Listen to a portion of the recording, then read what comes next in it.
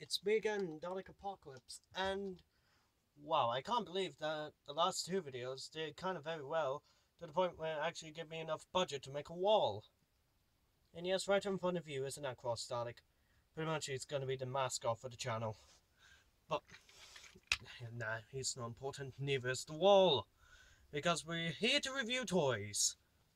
And if you check the title of the video, you will notice this review is not a Dalek product. Yay! Instead, it's going to be a review on the Doctor Who Christmas Adventure set, or the Doctor Who Xmas set, as people like to call it. But I can't show you the packaging because I've been out a while ago. I had this set since I'm not sure how long. But anyway, this set was first released in 2010 or was it 2013? And I just realized I forgot to put the figures on. So first off, the TARDIS. Let's just move the camera down a bit. Yes, I can't unfortunately put that much wall on here. And we have Amy Pond. And we have Matt Smith, the 11th Doctor. So, pretty much, I'm going to be reviewing this set. So, we're not going to be reviewing the TARDIS first. No, instead we're going to be reviewing the figures as they fall down to the ground. So, first off, let's review the companion. Funny enough that this would be the first review I would do for this channel on a regular figure. So, the articulation is, well, she can kind of do the 360, but the hair just restricts it. The arms can do a full spin as well as the top of the arms right here. She has an elbow joint, a top of the arm swivel. No, I mean top of the hand. Yeah, kind of do a swivel. She has a full waist 360 spin.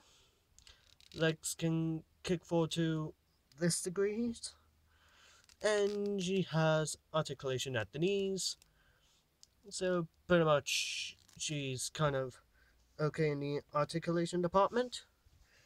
But let's talk about the sculpt. Sculpting wise, it's actually very nice. Now this was before the infamous 2011 quality control, yeah, for New Who figures. And luckily she doesn't, well, she never hit it. Well, except for the legs. No, really, the legs just look like that. Sorry if my shadow keeps on getting in the way, but the legs just looks like she's not wearing anything, even though there's lines down there. And I'm not really planning on getting the re-release, because I already have this figure. Yeah, pretty much this is a good figure she comes with, I mean, she has her, her watch, and notice that the episode came out after Amy and Rory got married. She has no wedding ring. Quite a shame. But hey, she does look fine in the police uniform, which is actually detailed nicely.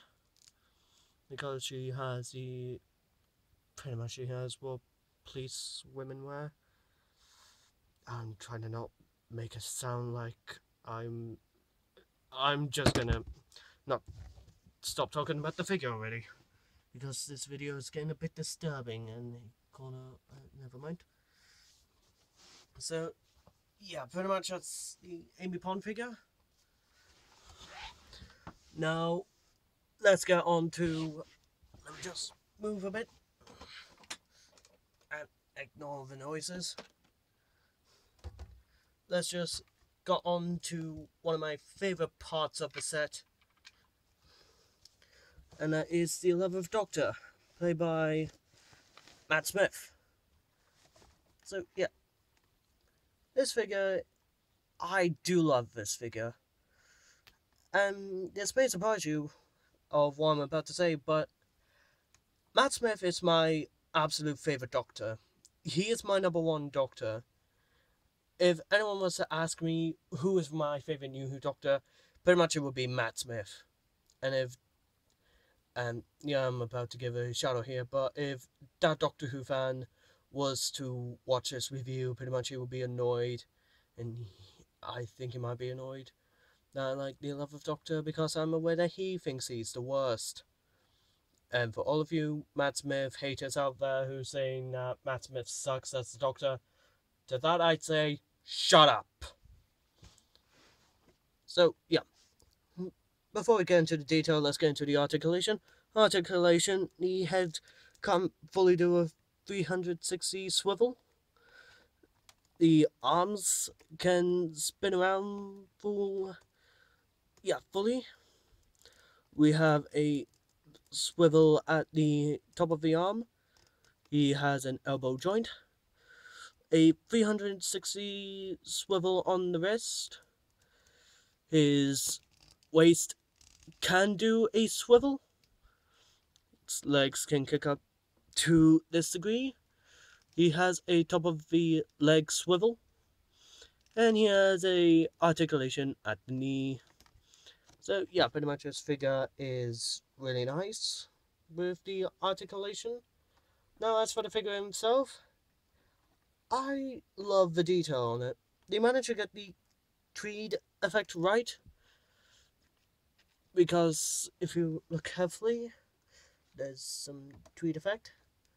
I love that they got the head sculpt to look like Matt Smith before they remade the Smith sculpt for Series 6. And I, yeah, I know people are a bit confused about the hair thing. Trust me, I was a bit when I first got the 11th Doctor figure. But not anymore.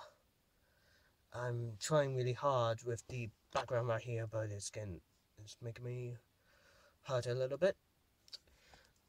But yeah, the quality, and as for quality control, well, there's a little bit of a loose thing going on with this arm, as in it keeps on popping, moving about so loosely. And pretty much that's all. And also I love the detail on the bow tie. And I think they might have the shirt wrong because it was white in the episode.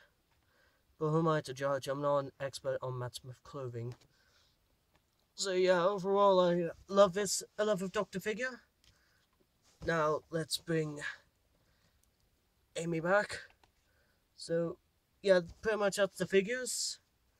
Now let's move on to the TARDIS. That is way too big for my background. Let's just move the TARDIS back a bit. Uh, let's pull the camera back. I think this might be the only time where we get to see the TARDIS from this close. So, yeah, the detail on the TARDIS is actually very nice and yeah, pretty much, oh, for the love of might, a speaker hole and an ugly battery compartment. Also, I forgot to mention the gosh darn legal guff that you can barely see. Can you because of this low light? No, you can barely see legal guff. Um, very much, this is a non-electronic TARDIS. The doors can open to reveal the inside. And once again, I got my sonic screwdriver torch with me. And here's the inside. And you can put one of the figures inside. Let's put Amy in here. And all you need to do is to close the doors if you want it to be sealed. And there's a button on the floor. Right. Ah, it's too dark. Maybe once I get better lighting, I'll show. In fact, in fact, right, right there, right there. So, yeah, pretty much the TARDIS. It can also have the neat thing to open. Yellow pull to open sign, so that you can have the Doctor very much be close to it and yeah, pretend he can answer it and let's close that door again. So yeah. So yeah, pretty much that's all I have to say about this thing. Overall, what do I think of this? Like, think of the Christmas Adventure set? Well, damn it.